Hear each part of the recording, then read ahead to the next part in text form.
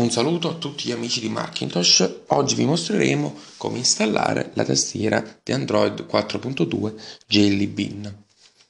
Allora scarichiamo il file zip dal, dall'articolo del nostro sito oppure dalla descrizione del video su YouTube.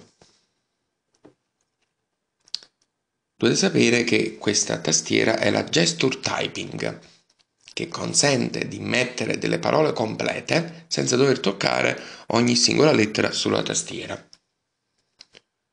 Tutto quello che dovete fare è scorrere il dito sulle lettere necessarie a formare la parola desiderata e poi lo sollevate quando avete finito.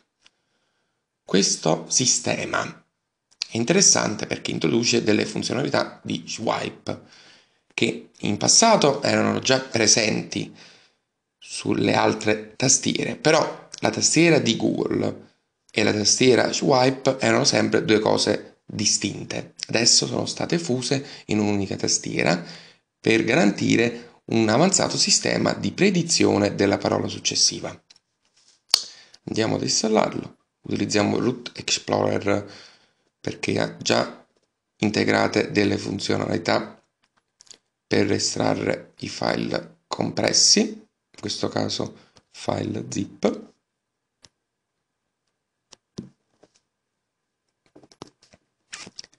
Estraiamo l'apk lo installiamo.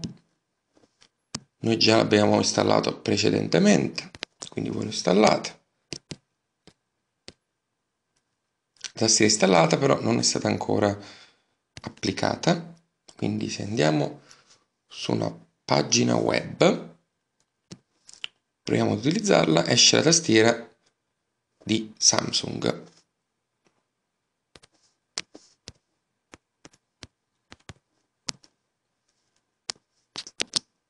Adesso andiamo in impostazioni, lingua inserimento, vediamo che compare la tastiera di Android, spuntiamo per attivarla cambiamo quella predefinita in quella di Android. Adesso vediamo se funziona. Sì, già è comparsa la nostra tastiera. Proviamo ad utilizzare questa funzione.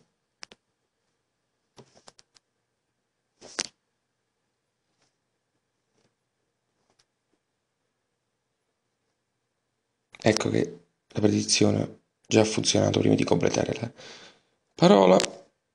Lasciamo il dito e la parola già viene digitata nella sua completezza. Come avete visto è molto facile poterla utilizzare. Ci possono essere delle controindicazioni. Il sistema che stiamo utilizzando è Android Jelly Bean e può darsi che in altri sistemi Samsung, soprattutto altri device che non sono Samsung, questo APK potrebbe benissimo non funzionare. Quindi se avete problemi contattateci vedremo di poterli risolvere.